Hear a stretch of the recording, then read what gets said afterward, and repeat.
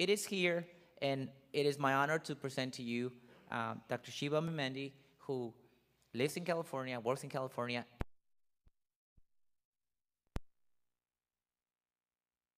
About yourself. Thank you. I am Dr. Sheba, Sheba Meymandi. I am a clinical professor of medicine at UCLA. My clinical practice is out of Olive View UCLA Medical Center, which is a great, great county facility that we're very proud of. Uh, we take care of the indigent population. Roughly 70% happen to be Hispanic. Uh, I, being a cardiologist, um, deal with a lot of heart failure patients, and that's how my interest in Chagas started up. The primary complication of Chagas is cardiac, it involves the heart.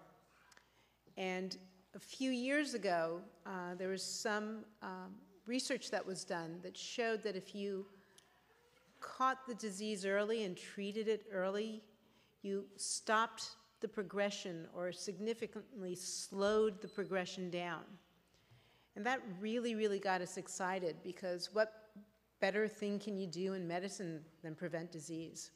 So uh, we started off very slowly and through collaboration with great organizations like the CDC, the DNDi, MSF, we have developed a pretty significant uh, outreach program where we go into local communities and we, we test people who are at risk for Chagas.